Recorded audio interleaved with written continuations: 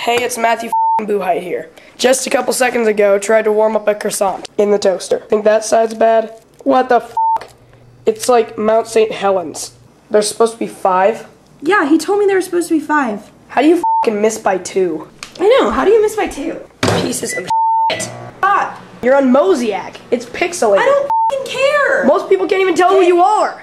Get out. I can mistake you for f***ing Snoopy right now. Hey, it's Matthew f***ing Bucheit here. That footage was from like Easter, a long time ago. So yeah, here I am again. And today I'm listening to No Control by Pepper. As you can see, I got new dye going on here, and my hair is so covered in paint. It's colored, so yay! So today's Mother's Day. Obviously, I did stuff for my mother. Bought her a card and brought her out to eat and all that shit. Went to the China buffet. What kind of family on Mother's Day doesn't go to the China buffet? I've already opened like nine of these things. Don't want to waste this one. I'm gonna wait a while. Probably my next video I'll open it just for you. There's a few things that you should know about my mother. She's a fucking lunatic. Examples, her driving. Come on, mom. Of course, she needs the radar detector so she doesn't get caught by the cops flying down the street like a fucking hooligan. She'll be driving, know, and then she'll just start sagging to the other lane, and then the moment a super diesel, you know, pickup truck comes towards her, she goes, whoa! We almost get nicked by death itself. But yeah, whatever the fuck. Yeah, her dad's pretty much a cat. He has like 9,000 lives. He's been through a lot of war and stuff, dodged bullets, almost been killed and it turned him kind of into a hard ass and a badass. There was one story where he was in a tank. He's driving the tank, you know, then he opens the lid and he goes out to start shooting whatever the he's shooting. And then he realizes he doesn't have his helmet on, so of course he goes back in there. The lid gets shot like nine times right where he just was. He's too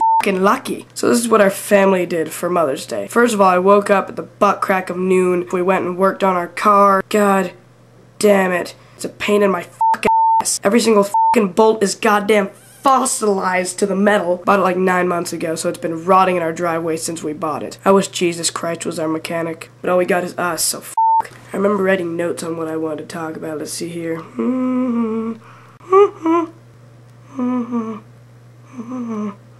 Oh yeah, this was fucking nuts. So we had suicide week at our school, of course. What school doesn't have suicide week? Got about this many suicide bracelets and more. The numbers on the thing, it's um, 1-800, 800, 888, something like that, um, 273 top. So I called them up and I wanted to help because I, I just thought it'd be cool, you know, maybe to talk people out of killing themselves. It was ringing and I was just like, they answered and they were like, hello, suicide hotline. How can I help you? So already, the lady that picked up the phone sounded like she wanted to kill herself. Irony. I'm all like, yeah, I was wondering if there's any way I could, um, you know, help out with this and she was like okay give me a second. I'm gonna put you on hold. So they put me on hold and I'm sitting there. If I was suicidal I would have killed myself by now. So the soul ripping elevator music stopped. They hung up. I'm like really? Come on. I mean seriously. What the I did this one specifically for my friend Joe who was f***ing insane by the way. I was walking in um the grocery store. All of a sudden I hear, man, here comes fucking Sasquatch Joe in a suit. Nonetheless, picks me up and runs with me in his arm around a couple aisles and then back to his family and drops me.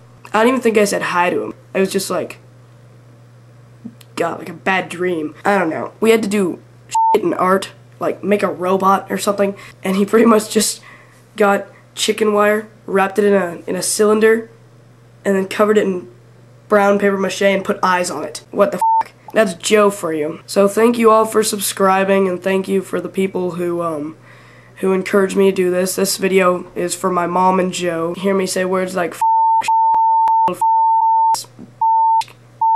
waffle and stuff like that. She'd probably be embarrassed if any of her friends saw this. Please don't watch me. Thank you all. Thank you, Mom. Happy Mother's Day. Thank you, Joe. Good night, everybody.